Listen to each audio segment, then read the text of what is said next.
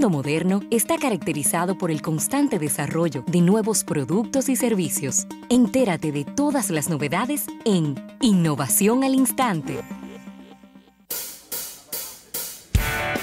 Bien, agradecer a nuestros amigos de Seguros Reserva. Seguros Reserva te responde y a la presidencia de la República por estas innovaciones al instante de la mano de Isaac Ramírez. Claro, tenemos que aprovecharlo porque el hombre está por aquí.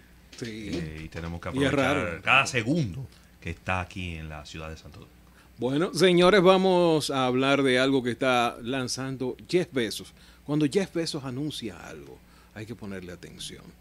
Saben que muchísimas de las cosas que se han hablado sobre los dispositivos, específicamente los Alexa, Sí. estos, eh, los Amazon Echo, Dot, Echo, la línea Echo, es que siempre está escuchándonos y que está pendiente de las cosas que decimos. Bueno. Bueno, pues hoy está lanzando Amazon un nuevo servicio que se llama Alexa Guard, que es como el guardián de Alexa.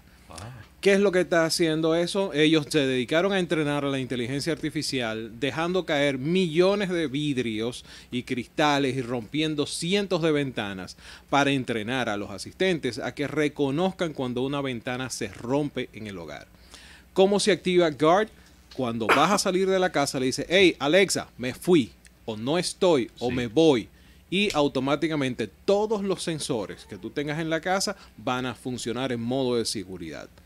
Otra de las cosas que va a poder detectar es, por ejemplo, si se activa una alarma de humo, él puede notificarte inmediatamente, hey, eh, tengo una situación en la casa, se acaba de activar una alerta de humo, o yo vi que tú saliste, pero se acaba de escuchar un vidrio romperse o sonó una ventana romperse, cayeron cristales al suelo y te notifica inmediatamente.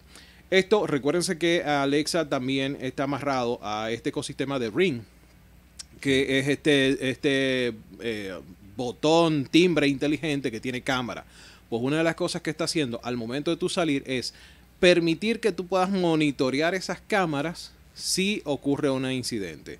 Si, por ejemplo, De manera ellos... remota. De manera remota. Ellos eh, detecta que se cayó un vidrio, un cristal, y hay una cámara cerca de la puerta donde son. eh, él escuchó el sonido, va a mandarte una foto inmediatamente. Mira, esto es lo que yo estoy viendo ahora. O sea, de verdad el sistema como tal está muy bien y eso yo creo que ayuda un poco al tema de la crítica so- respecto a qué hacen los asistentes cuando no estamos en la casa o que para qué funcionan eh, cuando no estamos eh, eh, cerca Y de Amazon no es no fue que compró también una compañía que tiene cámaras que tú instalas eh, adentro del hogar. Sí, a- Amazon Cloud Services. El Cloud El- Service. Ellos tienen la, Ama- a la Amazon Cloud Cam, que de hecho ahora hay un poquito de controversia porque eh, hay dos países, la India y Filipinas, donde eh, las imágenes de estas cámaras las están monitoreando humanos para detectar o para mejorar la inteligencia artificial. El problema es que no se lo habían dicho a nadie.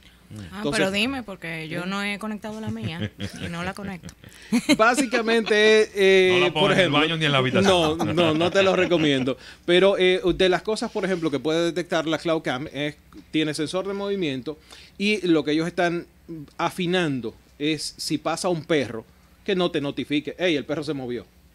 Claro, Porque no tiene en mi ningún caso sentido, o las sea. notificaciones no se acabarían nunca. no se acabarían nunca. Eh, Por ejemplo, si hay una, una, un árbol cerca a una ventana, eh, rozando la, la ventana, no, no te va a notificar. Entonces, ese tipo de, de cosas es la que se está entrenando por humanos. Decirle, mira, lo que se ve ahí es la cola del perro moviéndose. Y entonces decirle a, eh, a la, a la inteligencia artificial, eso es un falso positivo, mejor no lo tengas en cuenta. Entonces, es, esa es la idea.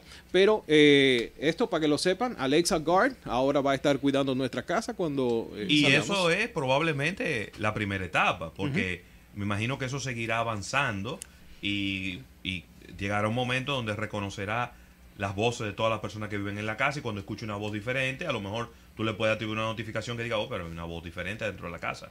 O algo así. o- Te- te- te- ey, turú, turú, ¿eh? no sé, digo yo, o un niño llorando. Tú tienes un No, niño. con- con los niños llorando sí hay o un detector. grito de histeria. Me gusta eso. Bueno, no es lo mismo que yo te grite algo a que yo grite eh, de una manera histérica. Recuérdate Me imagino que- que, el software deberá poder reconocer esa diferencia. hace, eh, parece que ya lo tiene, porque hace un año la policía solicitó a, a Amazon que le diera unas grabaciones de una casa por, donde hubo un homicidio, un doble homicidio. Entonces ellos decían, eh, nosotros queremos las grabaciones porque sabemos que el, el dispositivo detectó las voces y grabó.